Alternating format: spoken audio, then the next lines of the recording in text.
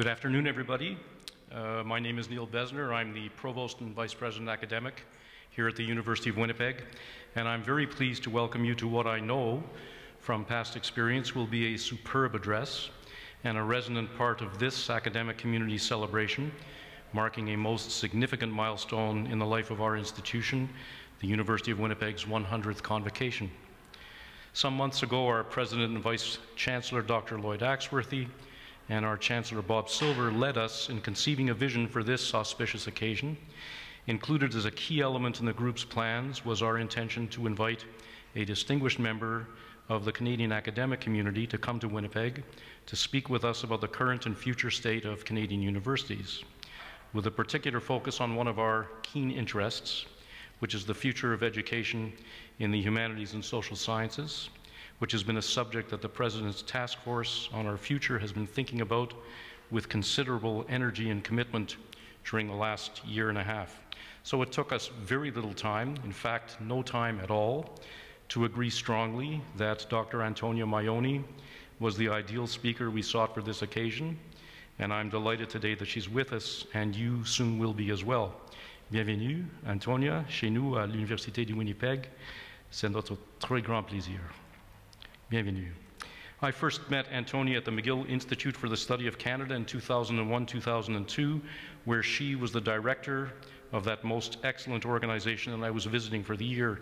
It quickly became apparent that not only was Antonia a most able director and a terrific boss, and then is now widely recognized for her expertise in Canadian health policy, just as importantly, she was then and is now, as many in Quebec and across the country know, a fluently bilingual, bilingue, eloquent, incisive, and astute commentator on Canadian politics, frequently appearing on CBC radio and TV, on CTV, in the Globe and Mail, and elsewhere.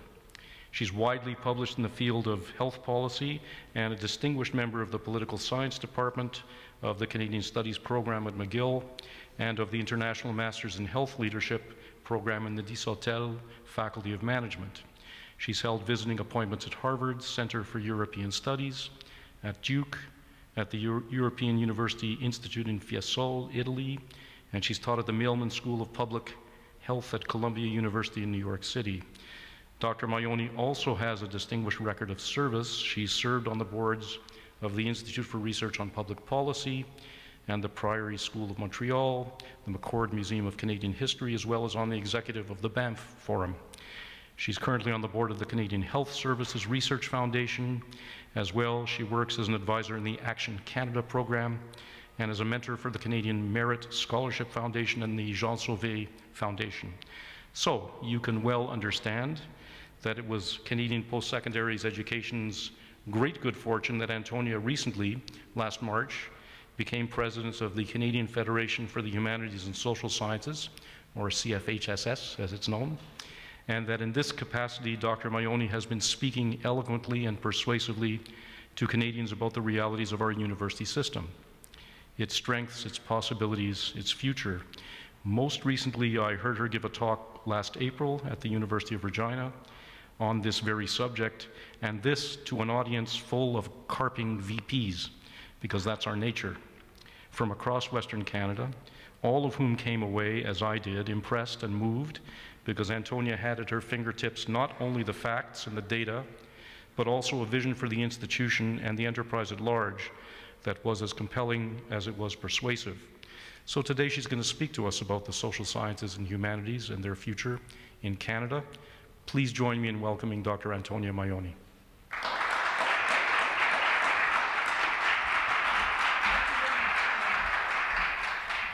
Merci beaucoup, Neil. On s'ennuie de, de, toi à Montréal. Euh, je ne sais pas si vous, toi, tu t'ennuies de nous autres, là, mais euh, on a amené le Canadien juste pour toi cette semaine. Je pas ça marche. Thank you very much, Neil. That was a very kind introduction. Um, it's really a pleasure to be back in Winnipeg. Uh, we call it the heart of Canada, and it is becoming one of my favorite places. And it's most of all an honor to speak at this important time in your university's history. Et j'aimerais féliciter en fait tous ceux et celles qui prendront part à la centième assemblée de demain parce que je crois que c'est un moment important pour tout établissement d'enseignement euh, et surtout les enseignements euh, d'enseignement supérieur. C'est aussi une étape charnière, en fait, dans votre histoire et qui mérite d'être soulignée. Alors, félicitations à vous tous. Congratulations to everyone who was involved in the 100th convocation. This is indeed an important milestone. And uh, on behalf of the Federation, Humanities and Social Sciences, I'm honored to be here and to be part of that as well. I know that the convocation is about looking at the past. It's 100 years that you'll be celebrating.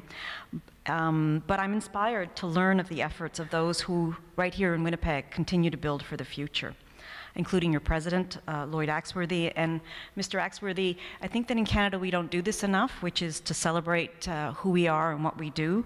But I'd like to on the behalf of the Federation, say thank you for all that you've done for the University of Winnipeg in terms of social science and humanities, and more broadly speaking, for Canada as a whole. So thank you very much.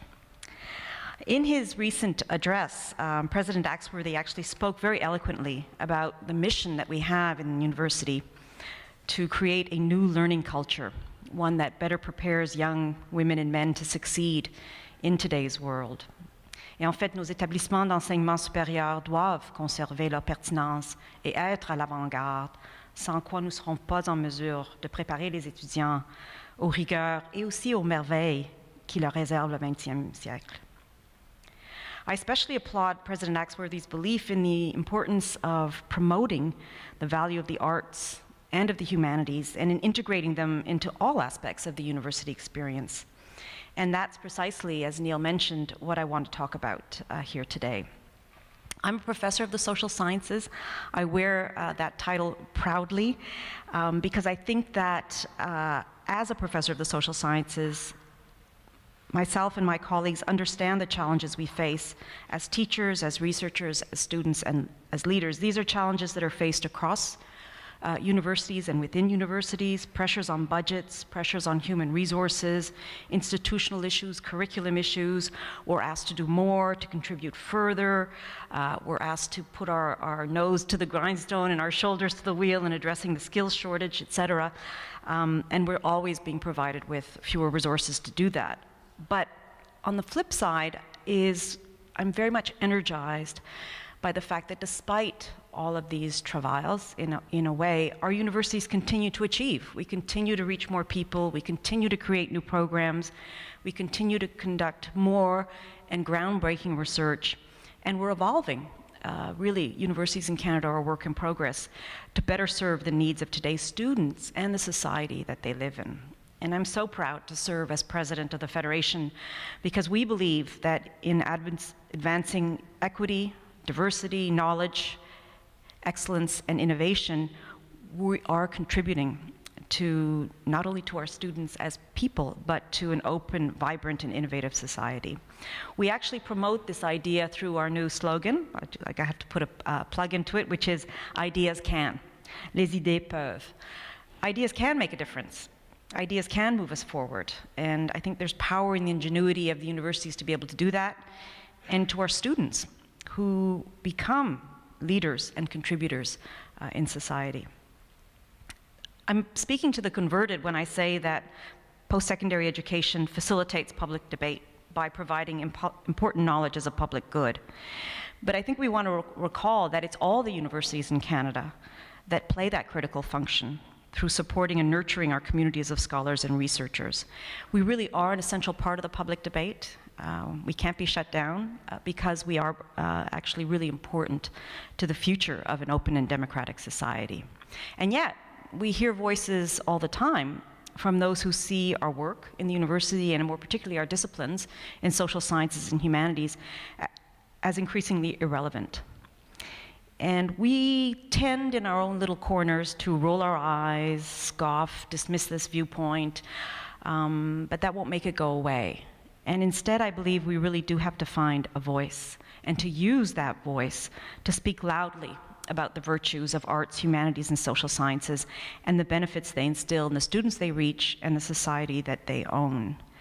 And as you know from within the academy, we're not always our best, our own best advocates. We have our own divisions inside this ivory tower. I remember talking to my PhD advisor as I was finishing my dissertation and saying, Oh, I don't know if I want to spend the rest of my life in an ivory tower.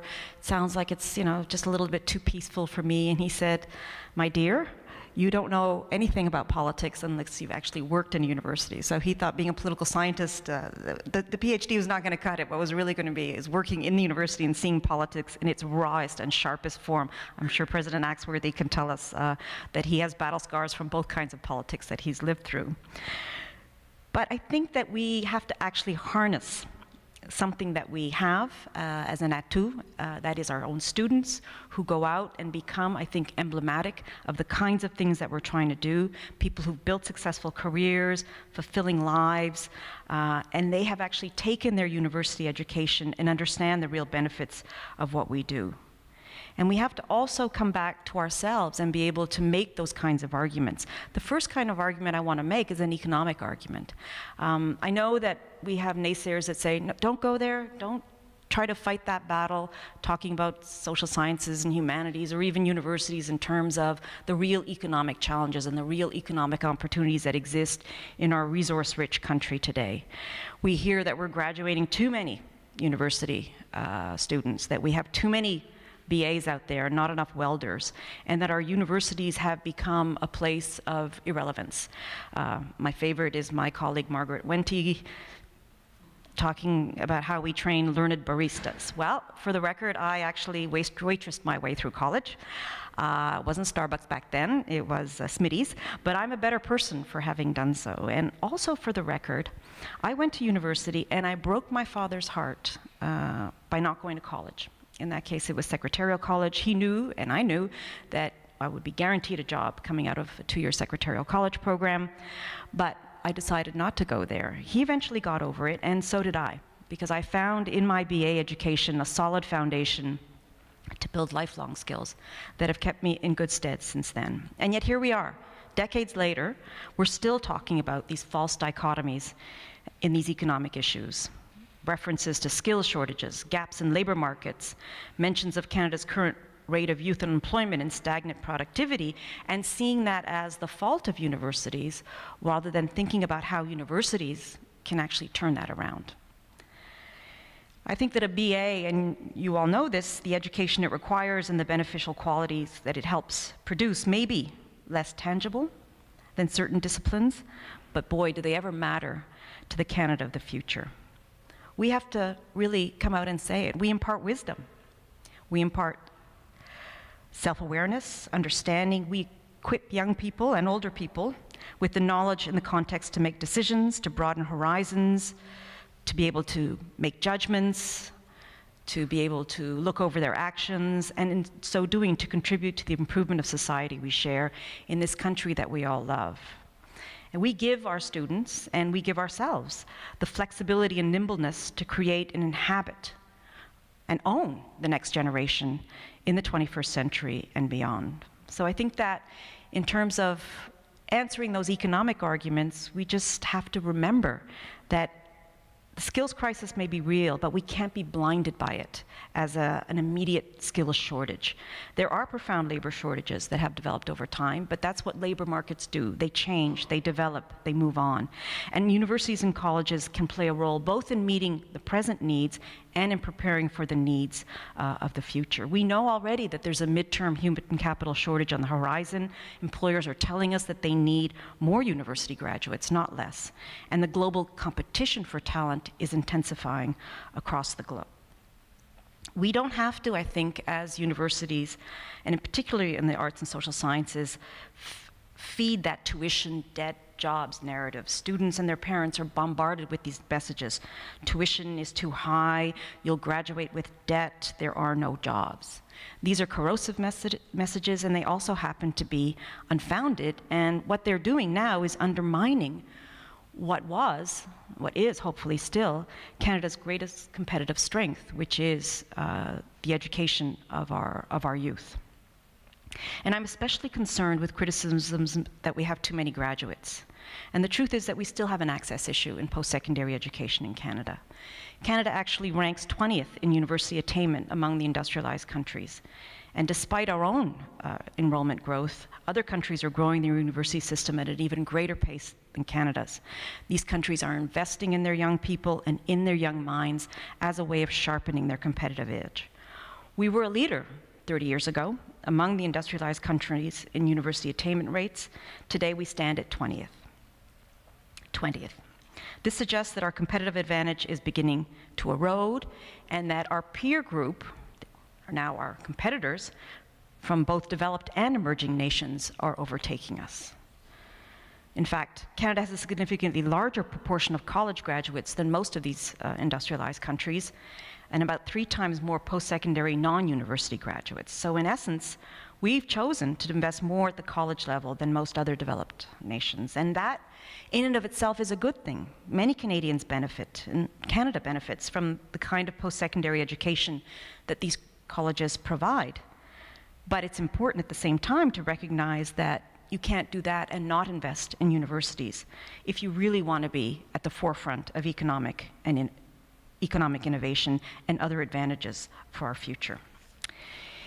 In this context, then, I think it's logical to ask what about the specific economic value of a BA in humanities or social sciences? And here, again, we're faced with a lot of data and a lot of reports that as academics, we should be able to confront and unpack and dismantle if we have to. That's our job. That's our day job, right? We should also bring that to bear with what we hear in the media and elsewhere. For example, the CIBC World Markets study that hit the headlines in August um, showed that there is a long-term economic value to post-secondary education. A bachelor's degree pr provides 30% earnings in premium of earnings over a high school diploma. Advanced degrees a further 15%. Over the lifetime, a premium translates into over 1.3 million in additional income for someone who has a BA and 1.8 million for someone who has a master's degree. But the way that this was interpreted, and bizarrely the way the CIBC actually framed the report, was that students are making bad economic decisions by opting for degrees in the humanities and social sciences. But the own evidence, the evidence in that report, doesn't bear that out. There's a great deal of economic value to a university education in our disciplines. In fact, for a woman with a bachelor's degree in the humanity, the average return on investment is 10%. I don't know about you, but that's a lot better than any portfolio I've been involved with recently. And in the, in the social sciences, the return on investment is even higher. So the statistics that are out there, I think, have to be understood properly, and it's our job uh, to be to, I think, to do that, not only for our students, but also for the Canadian conversation about the future of universities and the future of social sciences and humanities. We know that the employers who are looking towards the future recognize that the humanities and social sciences graduate students who possess curiosity, communication skills, and creative insight that is needed in all workplaces across the country. We know too that there has been, in terms of the job growth since the 2008 recession, many, many thousands and thousands of new net jobs for university graduates, many more for university graduates than for college and trades graduates, and that the real losers since 2008 have been people who have chosen not to go on to post-secondary education, that is to say, staying just with a high school uh, degree. The problem, I think, is that for social scientists and humanists, they might want to call themselves as they get out of school. The greater challenge is what you do over a life course. Sure, finding full-time employment right after the BA is challenging. I have this challenge with the undergraduates that I mentor. I'm sure you have that challenge with the ones that you mentor or your own children for that regard. But the data really does show that after a few years, anyone coming out of a university with a BA, humanities and social sciences, have surpassed all of their college uh, compatriots, all of their high school compatriots, sometimes even some of their science compatriots, though I'm not going to take sides here, uh, in terms of employment and earnings. And so these are significant margins uh, to be had with that kind of a degree. Nevertheless, whether it's social sciences or sciences, university graduates are in demand everywhere. One of the things that social science and humanities brings to that mix is the need for critical thinking, writing, research, problem solving, sharp and nimble thought. These are not skills that are going to go out of style anytime soon. There is a policy challenge in facilitating, a seamless move from the university to the workforce. That's why we have more and more experiential learning. I know that you're doing that here at the University of Winnipeg. In Winnipeg, at McGill, we have an arts internship program that is off the charts in terms of popularity, both with students and with the businesses and NGOs that they choose to do internships in. So we really do have to, I think, work towards breaking down some of these false uh, dichotomies, some of these arguments that we hear. Uh, and also, but this is going to sound really corny in a prairie uh, atmosphere, this whole idea of silos. I know that probably comes from the University of Winnipeg. This is where that originated, right? But it's true that the collaboration between universities has to be a factor. My colleague Chad Gaffield uh, from SSHRC calls it about he uses the metaphor about standing shoulder to shoulder. And in that respect, we all have to, as universities across Canada, whether we're urban universities or provincial universities or all of the universities across Canada really do have to make some effort at that kind of, uh, of power in numbers, just as our funding councils are doing uh, in Ottawa. There's also something else that we need to be more and more proud to highlight, and that's the economic benefit of universities and colleges to their cities. So let me just boost Montreal a bit, because I know I'm in a city of boosters, but if you look at Montreal, a city that has four universities, I can attest to the fact that that ch changes the complexion of the urban core. Um, you might call it the joy of a brainy society, you might call it marching in the street, whatever it is, it brings a certain kind of an energy to everything that happens in Montreal. And you all know this to be true in Winnipeg as well. That's because of the talent that universities nurture in these urban areas, the young people that they attract, the stature they confer, universities really do help make a city great. And there's a very real economic, social, and cultural impact of what we do in the buildings that we build, uh, but also in what we can impart as researchers and teachers. The University of Winnipeg, to me, is today a great multicultural city. It really does seem like the whole world lives in Winnipeg. And your success has been in building and sustaining the relationships with the cities that you live in. The Oral History Center, the important projects with First Nations and Métis communities, the partnerships with the city's cultural organizations, the Winnipeg Art Gallery, the Winnipeg Symphony, the Arts Fest, the joint programs with the Winnipeg Technical College, uh, the interdisciplinary and community collaboration through the Richardson College for the Environment, and something I find very, very exciting, the natural pathway from high school to university, the University of Winnipeg Collegiate right here, right in the middle of your beautiful campus. So félicitations, congratulations to all of you here, President, Vice President, former presidents, deans, faculty, staff, and students for these remarkable achievements. And I hope that um, despite all the misleading and corrosive warnings, about universities that we can still believe uh, that there's a future for them. And I think one of the, one of the uh, clues that that's happening is that enrollments remain high. So I think there's something about young people in Canada is that they actually get it, right? They're tuned in. They're on the cutting edge of what's going on in the world around them and on the wider world as well. They understand that there's a value in the kind of education that universities confer and the way that they can develop their skills and ability.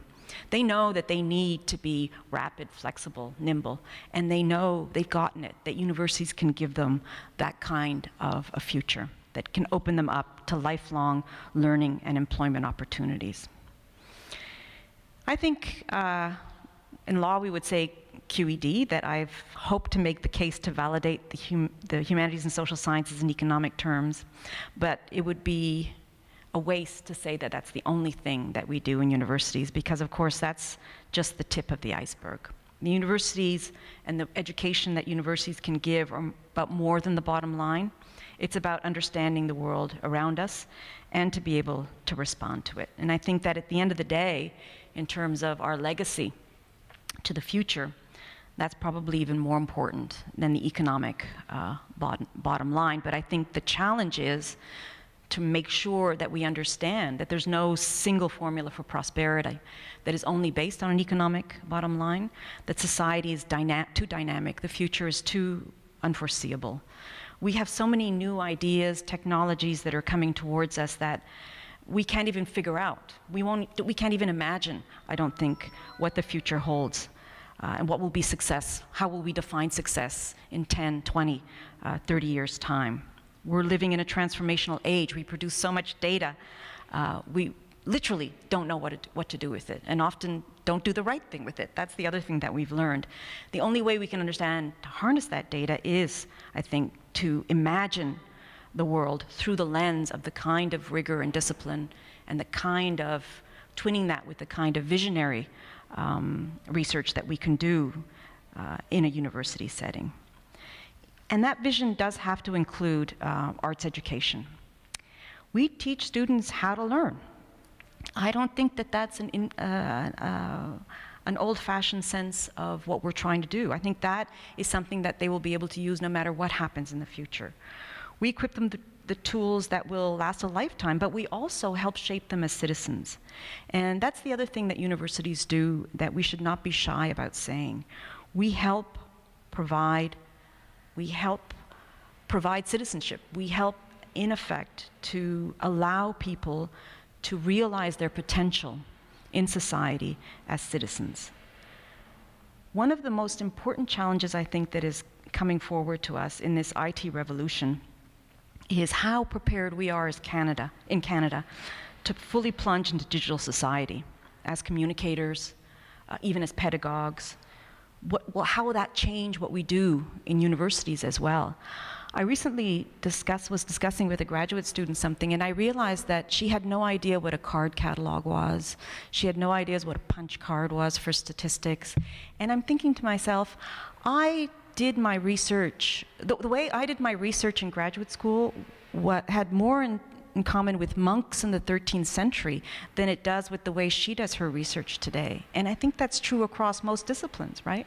We are actually, all of us, from the Middle Ages as far as research and technology and innovation is concerned. So we have to make sure that we are able to make sense of this, of what, what our own students are facing in the future, and um, their expectations as well, and of those who are hiring them. And finally, I think to remember that humanities and social sciences provide us with pathways to the substance of thought, and something that again, may sound a little old fashioned, but I think it really resonates, particularly in this beautiful environment here at the University of Winnipeg. The shape and meaning of the good life, or a good life. Un monde sans art, sans littérature, sans histoire n'est pas envisageable. Nos disciplines jouent un rôle essentiel, car nous ne savons pas qu'est-ce qui nous attend en tant que civilisation. Les disciplines dans les sciences sociales et humanités nous permettent d'analyser les changements dans nos sociétés, de mieux comprendre comment nous sommes rendus ici et de former, de nourrir une imagination éduquée quant au chemin possible à emprunter. The educated imagination, that's what we're after. I'd like to conclude by echoing the University of Winnipeg's own words in the window on the world discover, achieve, belong. These words speak to a growing intensity of commitment on the part of the University of Winnipeg and I think in universities across the country. We need to recast our thinking and to recognize the inherent importance, complementarity, and interdependence of all of us in this beautiful academic pursuit. We need to, I think, get beyond these false dichotomies, talk about humanities and engineering, universities and colleges. We can no longer fail to recognize the contributions across disciplines, or narrow our existence, or atomize what we do. I think one, one, one of the things we need to understand is to celebrate how universities, and within those universities, the arts and social sciences, really do develop our abilities to empathize, to understand, and to really focus on what is a truly human characteristic and will always be what humans have to give the world our inherent curiosity and imagination. So I intend to do this. I think President Axworthy intends to do this, but I'm hoping that everyone will be energized in changing the tenor of the debate about the future of universities, about the role of, of the arts, social sciences, and humanities, and to imagine what a good society in Canada and the world can look like, and the valuable and essential contribution of our disciplines to its future. Thank you. Merci beaucoup. Miigwech.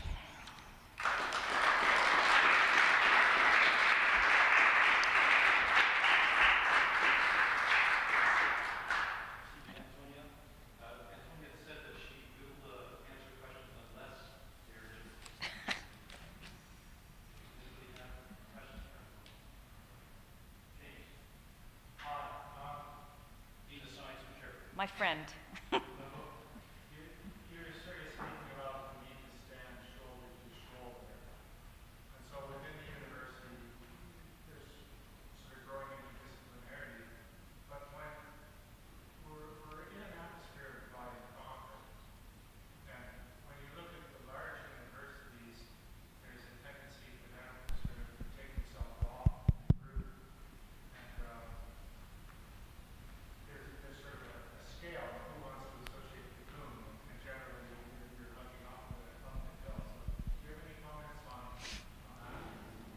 Uh, I hope you, well, okay. So I, am thinking about this in the context of Manitoba and not necessarily in the context of Montreal. But um, yeah, no, no. I, it, so here's the thing. Here's the thing. The larger universities have a larger kettle of fish to deal with, right? So in a sense, a large university that has a medical school, for example, uh, a very large graduate school, uh, professional schools that demand a lot of attention, a lot of money, a lot of watering and feeding, uh, means that often disciplines like my own, perhaps disciplines like yours, uh, get overlooked, uh, not celebrated for what they do. Uh, but also that we tend, as those kinds of large universities, to not recognize what other kinds of universities can do in the mix. But if I take my own city as a, an example, some of the most vibrant and cutting edge research that is actually matters in the community is not necessarily happening at McGill. I know this is being taped, but uh, it's happening at other universities that are understanding the connection between what universities do and the impact they can have on society. Part of the problem is that large universities don't measure impact in the same way that the world as a whole and frankly, taxpayers are beginning to measure impact about what universities do. Whereas I think that urban universities, uh, universities that are able to be more nimble and flexible, are very much more capable of doing that.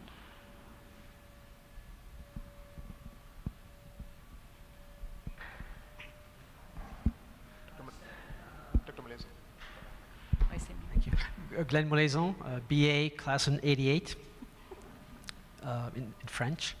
Uh, I thank you very much for your comments. Uh, uh, and as you said at the beginning of your presentation, uh, you're preaching. You feel like you're preaching to the choir, and I, I think that's true in, in many cases. that we we ourselves all make those arguments. We publish small articles here and there mm-hmm. regarding the value of arts and humanities uh, and social sciences. Uh, and uh, we try to make those arguments, and often they are not heard, of course, uh, by the people who should be listening, like governments, federal governments, provincial governments, and so on, the people who are responsible for funding universities. But a couple of arguments that one doesn't hear uh, often is, uh, is we are not training just employees for the market. We are training, we are creating leaders of society, and that's something we, we often don't hear. And that's one, one point I want to make, and I'd like to hear your comments on that. And the second one is, I think you use Northrop Frye's term, the educated imagination. That's what uh, universities and arts and humanities education is for, to, to, to create an educated imagination. It goes back to his the Massey lectures in mm -hmm. the 1950s or 60s, 1963.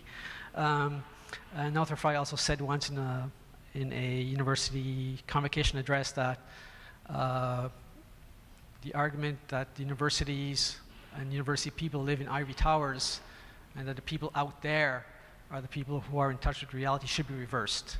The people out there um, believe that they live in a world that is in touch with reality, but the real reality is being created here within universities. This is what is real. This is what a real society, an ideal society should look like. And out there, that's the, the ivory tower. So um, that's often, again, an argument that one doesn't hear.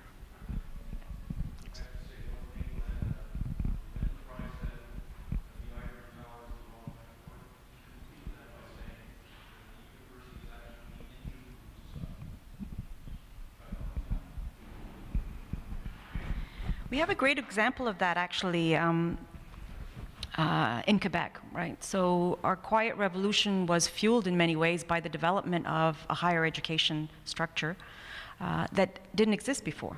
Uh, so the whole goal of, for example, the University of Quebec system was to make higher learning accessible, relevant, uh, but also to train a new generation of leaders, right? That was the whole, and, and that had started already with the sciences and humanities at Laval. I'm a graduate of Laval uh, in the 1950s, in the 1960s. There's no way that that whole um, important moment in Quebec and Canadian history would have happened without that kind of investment and understanding in the importance of universities and in their accessibility. So I think that's part of, I guess, the idea of what you can do with an imagination, what you can do when you actually impart skills that you don't know how they're going to be used in the future, but that will, will, will ultimately uh, build the leaders that you need to undertake this uh, vast and transformative change. The thing is, we already know that we're in the middle of a revolution, right? We're in the middle of an information revolution. We're in the middle of a uh, global revolution about rights and values. We're in the middle of a lot of, we're in the middle of a democratic revolution right here in Canada. And we also know that we can't really face those challenges by one discipline or one answer alone. I work on health policy, for example, and I know for a fact, and most people who study the health sciences will tell you, you know, the, how do we manage uh, an aging society? How do we actually make sense of what's going on in some of these ethical questions about right to life, right to die legislation that is coming up? All of these things are not about sciences. They're not even about medicine. They're about sociology and the law and culture and all kinds of things. So that's the other thing I really, sometimes I'm, I'm wondering why this is so hard to grasp. That the big questions that we need leadership on are all questions that have to do with what we do inside of universities, right? This is what we train our students to be able to manage in the future.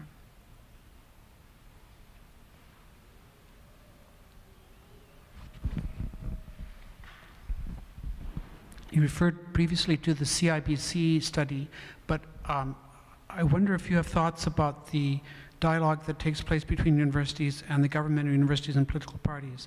Again and again, I've seen, um, or at least in the newspaper, um, directions to universities to become functional to the economy. And if you read those documents at face value, there'd be no reason why one would ever read a poem or listen to a, a a piece of music or look at art or anything like that. It's relentlessly functional, relentlessly uh, make this into the economy. Can there be, or how can there be more dialogue either with government or with political parties who, um, who are, will be our important spokesmen or spokespersons in terms of funding universities and things like that, and not funding them in such a way that it has to be just a relentless uh, economic machine that, that they will understand uh, what, what you're offering in this address. Yeah. do you have any thoughts on that? No, and I, I, I understand perfectly. It can't just be about the economic argument. And as I said, I think the economic argument is the tip of the iceberg about what we do in universities. But I don't think we can not be part of a conversation that deals with economic issues. So the only way we are going to be able to shape policy, future policy, is to be able to engage on that particular. And it, for me, it's not a stretch, right? So it's not as if we're making stuff up. This is actually true. so why not, in fact, use that as a lever to be able to capture policymakers' attention, um, and in addition, be able to bring to bear the real strength of what a university is, which is about the educated imagination, which is about building a better citizen. But at the end of the day, if we all, we have that economic argument as well. And I mean, even I think it was today in, uh, in the Globe, my colleague Conrad, uh, you know, the kinds of incremental uh, changes that we make to sort of make our workforce fit the jobs of today is short-sighted in terms of what we really need to do, which is to make our economy function better for the future, right? That takes a lot more work. That takes a lot more investment. That takes a lot more insights. And that's going to take a lot more university trained graduates uh, who can make that jump into a new economy.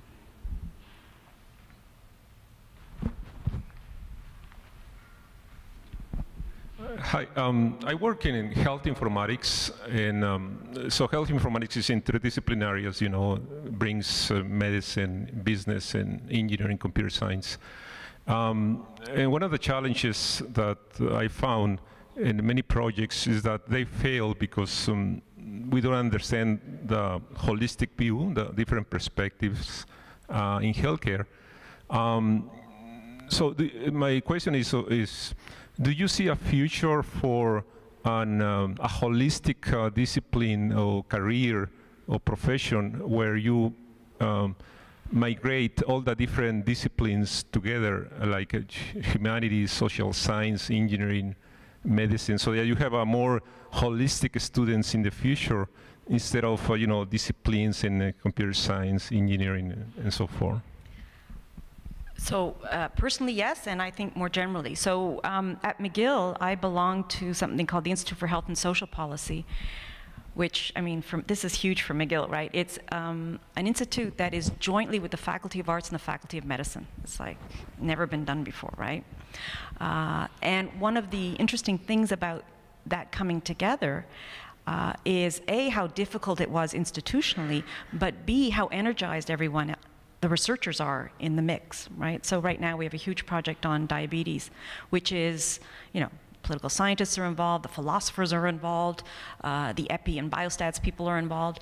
So I think there is, in effect, a hunger, thirst for researchers to be able to gain or glean insights from each other to be able to attack uh, important questions or be able to move along in terms of answering important questions. So I think part of the struggle is not at the research side or even at the student side. The students just eat this stuff up. I teach a course in health policy and political science, and I have like, I, it's like management students, science students, it's electives, science students, law students, students from all over the university, environmental sciences, because they really want to know about how policymaking happens in the healthcare field, right? So I think the thirst is there, uh, the willingness is there. There's something about the institutional structures that sometimes make it more difficult. Uh, there's something about funding structures that make it more difficult. We're going through that now between SSHRC and CIHR. It's kind of the birthing pains, and they're quite intense. Um, but I think that we're, we already know that this, there's, it's like, there's no turning back, right? This is the way forward. The challenge is, as I said, the institutional structures and also for our colleagues and the members of our faculties or departments who may not see the immediate win for them to help them understand how, in effect, this is something that is crucial to the future of research, right, and to the universities.